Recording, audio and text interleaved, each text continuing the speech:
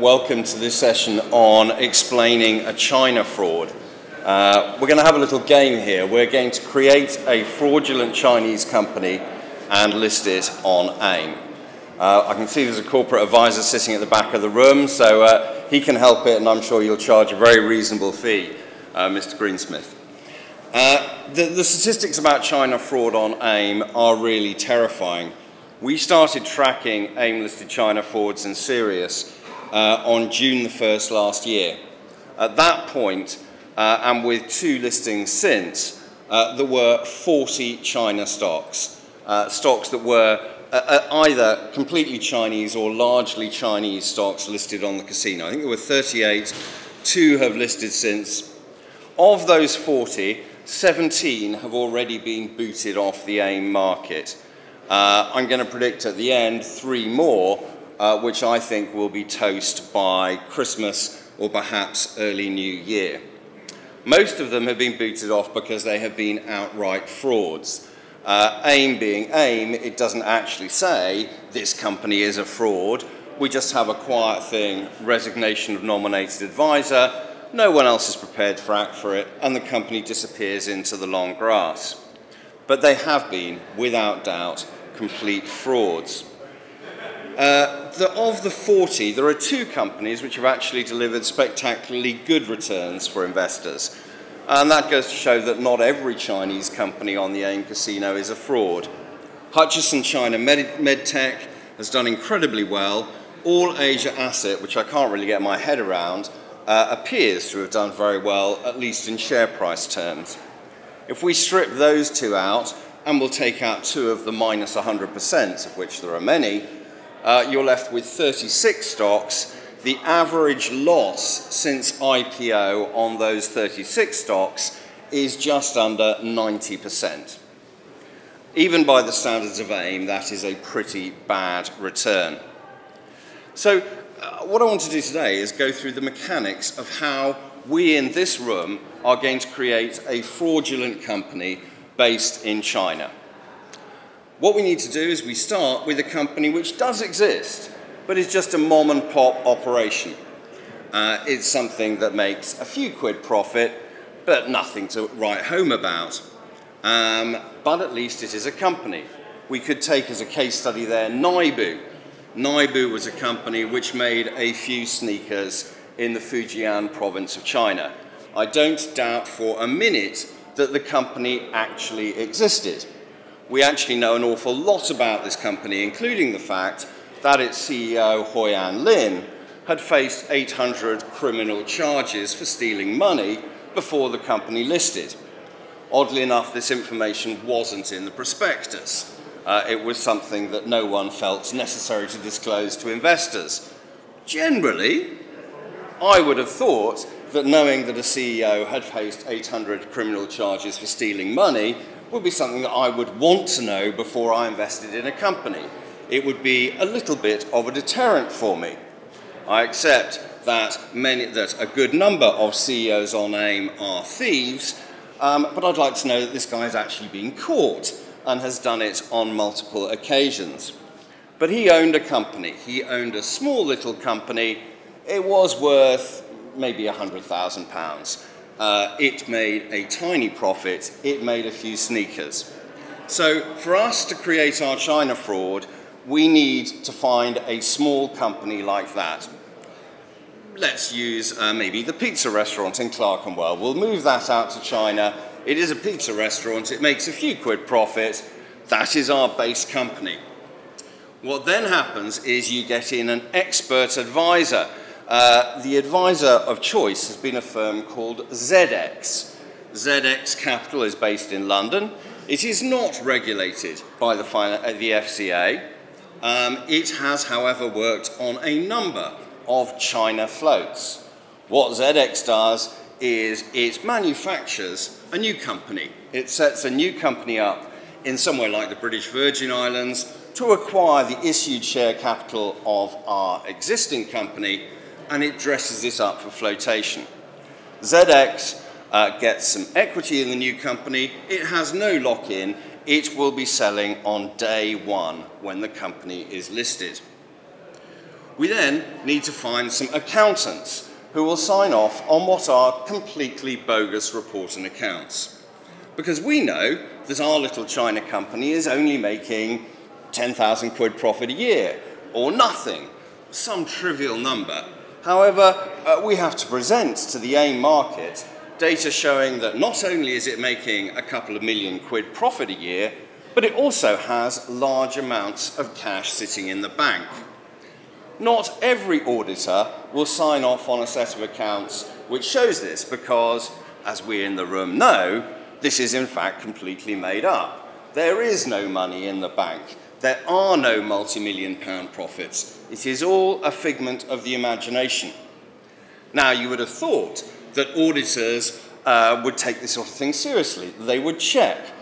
I'm not sure quite as what has gone on here, but there have been two firms of auditors in particular which have signed off on numerous bogus, bogus uh, um, uh, documents for flotation uh, uh, and numerous bogus sets of accounts the firms of UHY Hacker Young and especially Crowe Clark Whitehill have signed off on most of the companies which have already been kicked off the AIM casino for being frauds.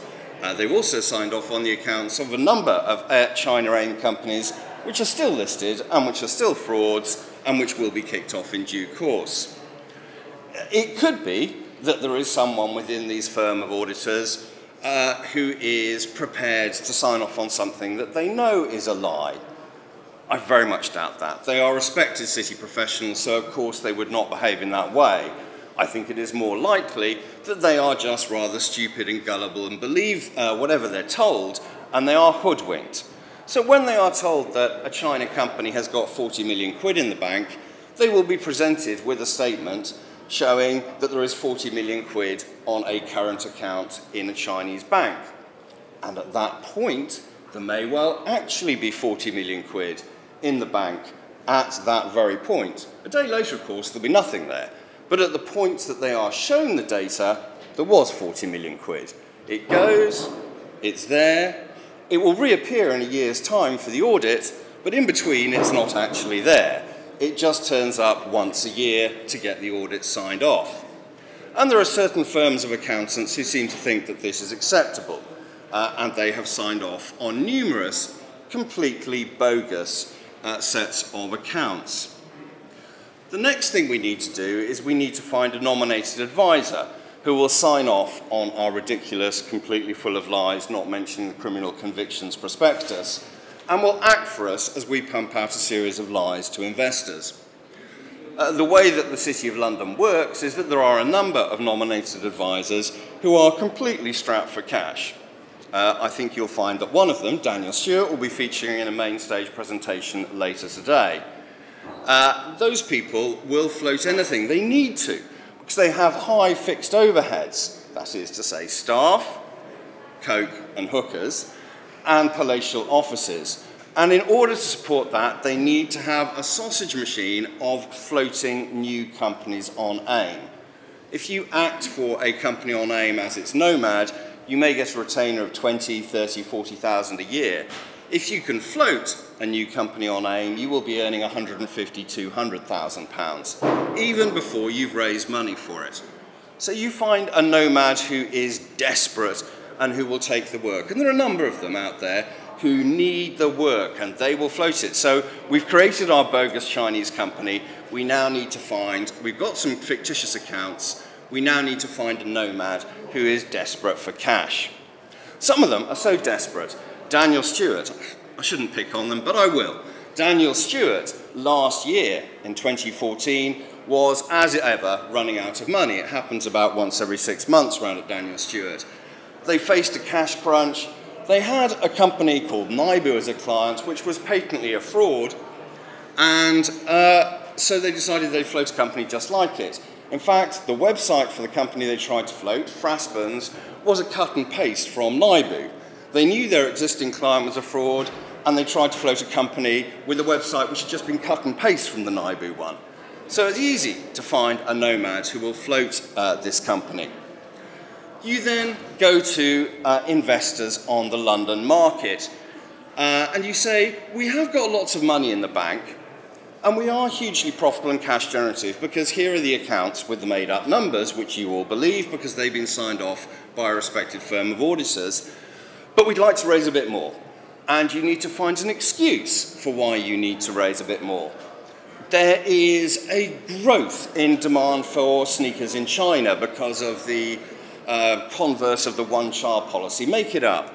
Uh, there's a company called Jiasen which makes wooden doors. Because of the changing demographics of the housing Chinese market, uh, wooden doors is a big growth market, and we need to raise a little bit more money to sate uh, the insatiable demand for wooden doors. You might think that wooden doors are a commodity over in England, but in China, this is a niche growth market, so we need to raise a bit of money.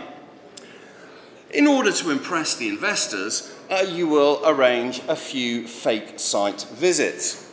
With Naibu, uh, the company I know attempted to get a friend of mine to be the non-executive director.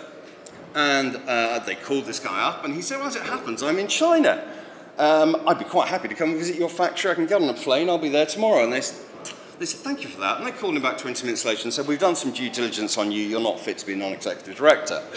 The reason for that was, of course, that had he gone to visit their factory, eh, he would have discovered it didn't exist. The factory that is in the prospectus just did not exist. Uh, the factory they had was a tiny little workshop somewhere else. They needed time to arrange a fake site visit for investors and analysts. And when you have a fake site visit, you go and see this great big new factory with sign, branded signs up at the top. The factory exists. In order to give credibility to our flotation, you need to have some English non-executive directors. Uh, we are a little bit uh, jaded about investing in Chinese companies, so we will have some respectable people on the board. Uh, I didn't go to the right school, so I'm not qualified for it. Uh, but the sort of people who are on the board are people who are friends of Evil Knievel.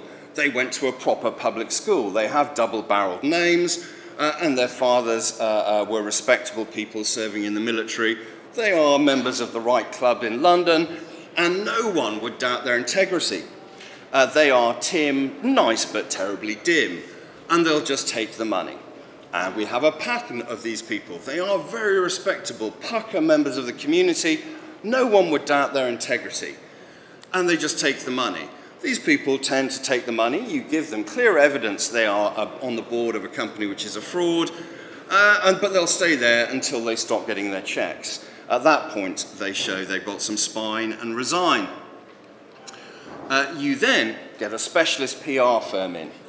Uh, if you look at the China frauds, you'll see that most of them are represented by just two firms. The big one is Abchurch Communications, because they are specialists in China companies. Uh, they know exactly what to say. They understand the companies. And of course, they are very respectable members of the community as well. And before you list, you ensure that you have a, a shareholding structure which is a little bit different to a normal company. The original Chinese company, which you will remember, doesn't actually have a big factory but has a little workforce, only makes a few thousand quid a year and has got nothing in the bank, has been bought out by a British Virgin Islands, Channel Islands, or some other dodgy offshore tax regime like Isle of Man based company. And at the end of that, you will find the shareholding structure is very simple. About 50% of the stock will be owned by the CEO. Another 40% will be owned by a series of special purpose vehicles, the ownership of which is unclear and which appear to have only just been created uh, they are in fact the CEO as well, but we don't talk about that. The remaining 10% is the money which the company manages to raise in London from particularly stupid institutional investors. The company may have 40 million quid in the bank, but it will raise another two, three, four, five million quid from investors at the time of the IPO. Why does it raise this four or five million pounds? Well, uh, it's pretty simple. Um, it raises that, that five or six million pounds because the IPO itself is going to cost half a million quid. The ongoing PLC costs, having a nomad, a broker, etc., a very posh PR girl, that will maybe cost it half a million quid a year as well. And it is going to pay dividends because this company, which we have created and which doesn't actually have any profits or any assets, is going to be a yield stock. the company itself, of course, isn't making any profits. It's not generating any cash, so it needs cash raised in the West to pay for the PLC costs, to pay for the bogus dividends, etc., etc. The maths are pretty simple on this. Uh, in the case of Naibu, it raised about £6 million at the time of its IPO. Uh, that £6 million was used to pay the PLC costs, the listing costs, and the cash dividend. All the way along with Naibu, it said there is a cash dividend, which Western investors took, and the Chinese investors were offered, everyone was offered a scrip dividend, and the Chinese investors kept on taking scrip dividend. So the cash cost of supporting the dividend wasn't that great, uh, but the company could say that it was yielding 8, 9, 12, 15, 28, whatever you want percent. And on that basis, you would find that the Investors Chronicle would tip the shares as a buy. Evil Knievel uh, and Keen Investors Chronicle reader bought some shares in Naibu. And all the way along, people would buy shares in Naibu. The net result was that Naibu got 6 million in at the beginning, and during the course of the time that it was on AIM until it was suspended, it had another 20 million come in from people buying shares of those special purpose vehicles registered in the British Virgin Islands, which were in fact the CEO, but would pretend that they weren't. So the net benefit to Naibu was that it got 26 million pounds from British investors. In return, it probably had to spend a couple of million, three million on the fake dividends, uh, and maybe two or three million on its PLC costs and its listing costs. Net gain from this fraud for Naibu shareholders, 20 million. Simple. You've made 20 million. We could do the same with our, our bogus company. All we need to do is find an advisor, desperate for fees, prepared to take on any old rubbish. Any advisor in the room want to admit to that? Uh, he's not smiling. No, only kidding. Uh, we need to find a, a, nice but dim PR girl who'll do it. We need to find a respectable member of the community someone who is went to the right school. Uh, Jason, which school did you go to? Where? Okay, that doesn't count. So you can't be it. Anyone here who went to Eton or Harrow, you can apply to be uh, the non-exec on the company. All you need to do is just turn a blind eye to anything and take the money. We can float the Chinese company. We can make a quick 20 million by a similar fraud. You don't need to have a real company to start with. So that's how it works. Uh, the problem, uh, this is something that could be dealt with. The problem is that A, the authorities have hitherto turned a blind eye to it. There has been clear evidence of fraud at a number of these companies. In the case of Naibu, uh, we broke the story that the CEO had actually been put in prison, not for his past crimes, but for new crimes. He was put in prison in November 2014 and the shares carried on trading. There was no announcement to the market. Uh, uh, it was just the fact he was in prison. Uh, and he is still in prison, and he will be there for a very long time. But shares in this company carried on trading. In any other world, I would have thought that is the sort of thing that companies should announce. Our CEO is in the slammer because he's a crook. Uh, but nothing happened. Uh, what do we need to do here is there are certain people who have been involved in numerous China frauds. There are the auditors who signed off on patently bogus accounts. Uh, those people have paid a lot of money. Something has to happen to them. Uh, in the city, we've got to, we've got to uh, go with the principle that if you do something wrong, either actively or if you're paid a large amount of money and you just goof, you turn a blind eye, you have to pay the penalty. The firms have to be reprimanded, and the individuals involved in that thing involved in turning a blind eye have to be struck off. That would get some bad eggs out of the, the basket, but it would also act as a deterrent to others. Uh, there are people at the nomads and brokers who turned a blind eye. In the case of Naibu, uh, the final uh, uh signal uh, that something was wrong was when the CEO himself tried to sell half his holding. Uh, normally, what happens with the China fraud is the company carries on paying a dividend whilst the special purpose BVI companies, which are actually the CEO but we don't tell anyone, sell all their shares. At the end of the process, when they have sold all their shares, the company then creates an excuse for why all the money's gone and they can't pay a dividend anymore. And shortly after, they are kicked off AIM. In the case of, which company was it, Nigel? The one that said, we have to give money back to our suppliers. CamKids, thank you. CamKids was a company which apparently was sitting on a mountain of cash. Its excuse for getting rid of the cash, which of course didn't exist in the first place, was that it had to pay that cash back to suppliers because it was changing its distribution agreements. Why did it have to pay the cash suppliers? Because they, we don't know. Because actually, if you look at the report and accounts, the suppliers hadn't paid for the, the sneakers they bought in the first place.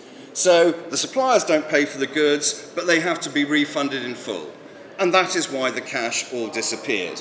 In the case of other companies, they explain that they have to build a great big new factory because the existing one just doesn't have the capacity to meet demand. And of course, they pay uh, the amount for this factory, which cannot be justified under any circumstances. Uh, they pay the amounts like they were building the factory in central New York, let alone rural China. But that's where all the money goes. And then they say, well, there's a problem with labour supply, so we can't actually use the factory and we're going to have to get rid of it and we're not going to be able to get much back for it because it wasn't worth what we paid for it in the first place. Hey, presto, all the cash has disappeared.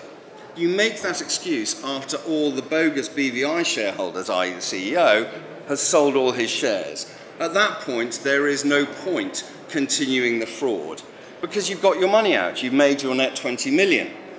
Uh, in the case of Naibu, though, they went one stage further. They had got all that money out, they'd made their 20 million. The CEO then approached his nomad, Daniel Stewart, and said, I know I've just taken a script dividend because I said I didn't need the cash, but actually something's come up and I want you to place out half my shares in the company. That should have been a red flag. People should have realised at that stage, even Daniel Stewart, that this was a complete fraud.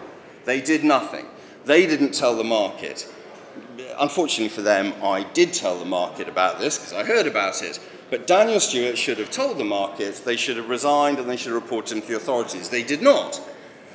The individuals at Daniel Stewart who turned a blind eye to this fraud, didn't report it to the market, allowed people to carry on buying shares in a company which they knew was a fraud, are still working in the city.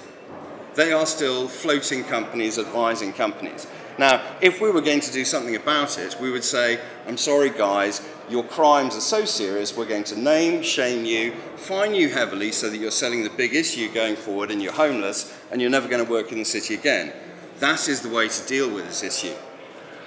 I would suggest to you that of the remaining 23 uh, Chinese companies listed on AIM since uh, uh, June 1st, a good number of frauds. If the AIM authorities wanted to do something about it, what it would do is it would say in every single case there has to be an independent forensic report by someone like KPMG uh, or uh, BDO, someone credible, not a Mickey Mouse firm of accountants, and we have to verify that they're a fraud. The company's got to pay for it, they're all sitting on huge cash piles, uh, and if the company refuses to cooperate, they're thrown off the market immediately.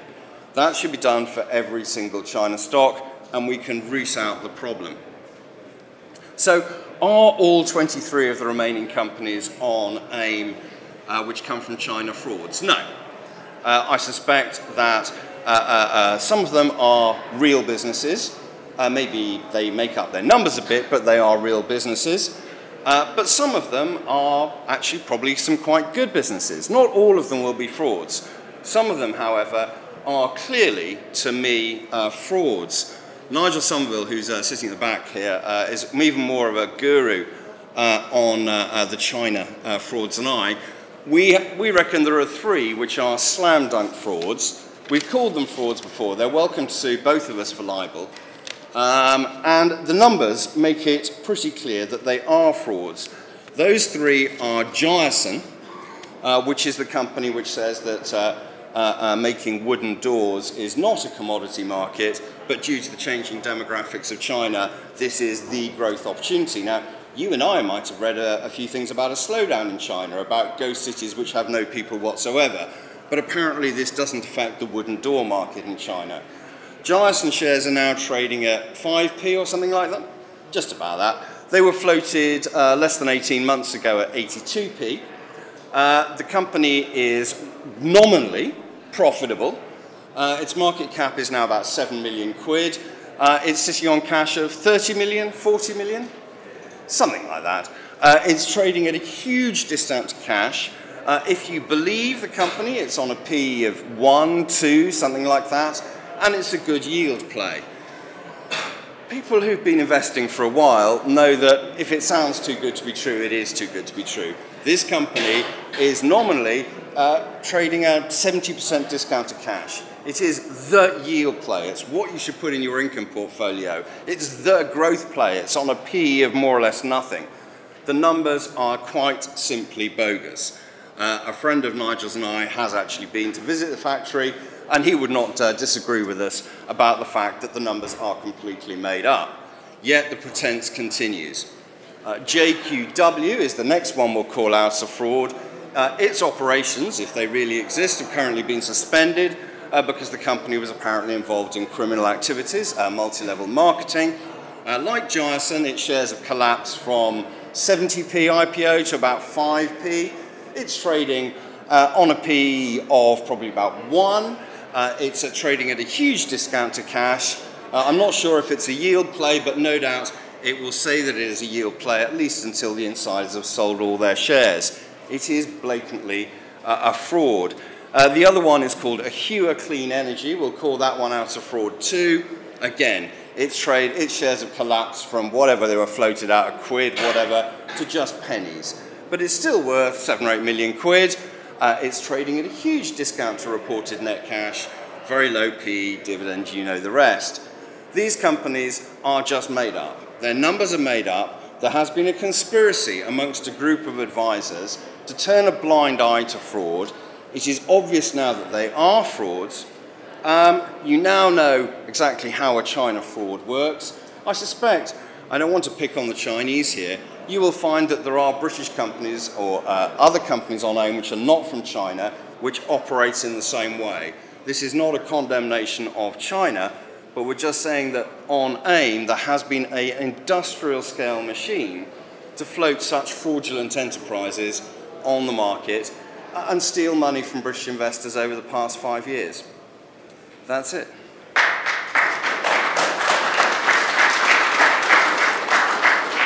Do we have time for any questions? Does anyone have any questions? Yeah.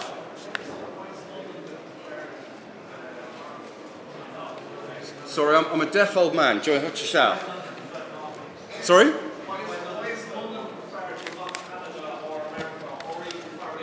Okay, well, the, the, the, the, key with the fraud, obviously, is to do the fraud as far away from, uh, as to list a fraud, as far away from the actual fraud as is possible.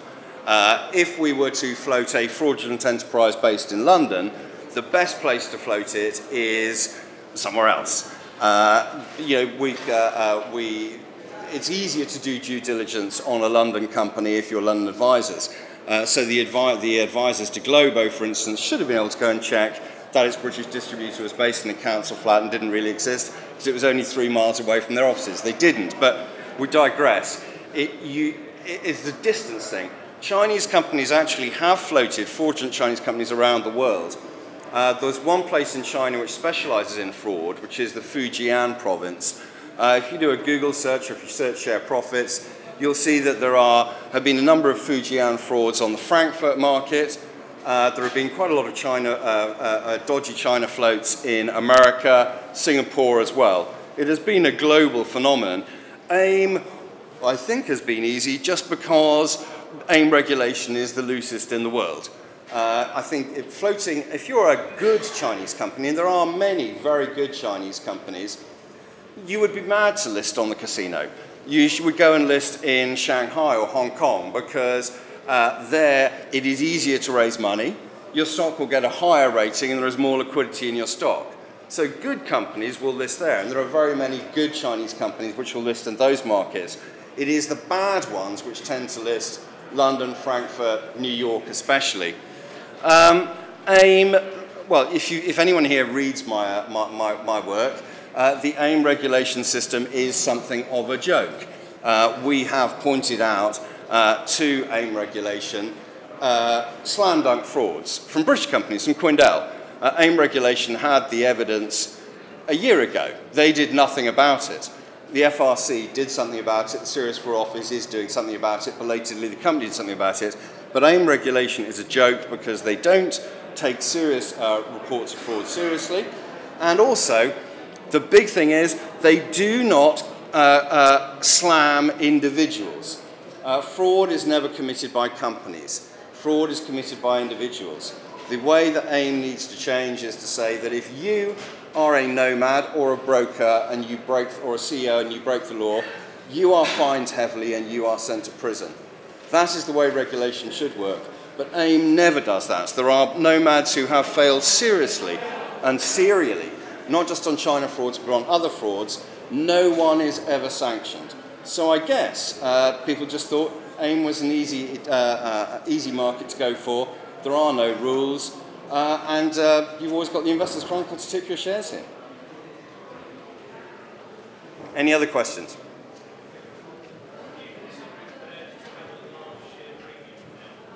Sorry? A bear to have a large. It's because they've issued large numbers of shares at a premium to um, at a premium to the nominal price.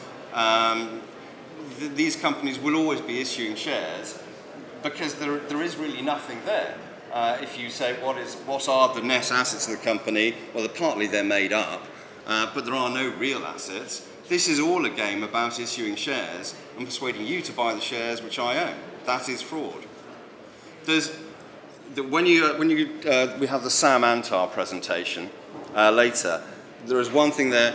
If you are running an honest private company and you are a fraudster, your sole objective is to pay as little tax as possible. You minimize the profits and you avoid paying tax. You may cheat on your sales tax, etc.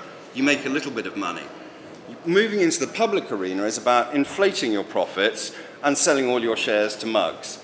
Uh, that is a different game. You make far more money by listing a fraud and making up profits than selling your shares. It's a better way to do fraud. Right. Five, I we've got five minutes. Got one more question, please? Let me fill time. The problem is you can't short most of these shares. Uh, you know, people say uh, uh, uh that when uh, uh, I write something, it's so that I can have a short position ahead of it, or so some of my friends in the global shorting conspiracy can take a short position. The reality is that for nearly all of these shares, you cannot short them. and why, why I write about it is A, because it's jolly good fun, um, and B, to warn people that they shouldn't be buying them. Uh, these, these frauds will fail. I mean, the, if we assume that AIM regulation is going to do nothing about it, the way to purge the China frauds from the system is quite simply for all investors just to boycott them. If we, British investors, fail to buy the shares of these companies, then they can't commit the fraud, because the fraud is all about finding British investors to buy shares of these bogus BVI accounts, which is really the CEO. Uh, so you can't actually short them. They're not shorting opportunities. The purpose of writing about them or talking about them is to warn people that they shouldn't be buying the shares, hopefully also to warn certain advisors that they shouldn't be representing them uh, and that they should be thinking twice about whether they take on these clients. I would hope that there would be advisors out there who act for companies like JQW or Jiasen who would think um, uh, that actually it's immoral to do this because all you're doing is you're taking a small amount in allowing a fraud to continue where insiders sell worthless stock to mug punters. I would hope that there would be some advisors in the city who would say the moral thing to do, it's not about protecting investors who are in there already. They've lost their money. It's about preventing new SAPs from being having their money stolen, and therefore they should resign and have these companies cleaned off the market. So it's a message to advisors as well as to investors. Do institutions, I think the institutions would never buy in the secondary market. There was a time before it became so obvious that this was an industrial fraud machine when these companies initially listed that some institutions would have a small amount. Um, and so when Naibu initially raised six million quid, I would imagine that some of that was from small cap institutions. Uh, they have learned their lesson. As a general rule, small cap institutions are boycotting the lower reaches of AIM anyway, uh, and therefore uh, uh, they wouldn't be investing in the secondary market. And I think if you tried to list a China company on AIM tomorrow, uh, you would find it more or less impossible to get any institutional uh, support at all. In fact, you find it impossible. You probably find it pretty much impossible to get any support.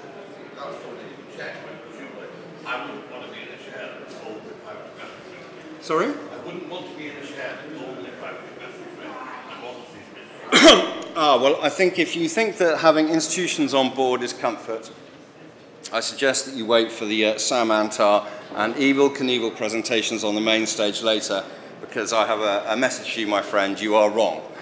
Right, let's call it a day on that one. Uh, thank you very much for listening.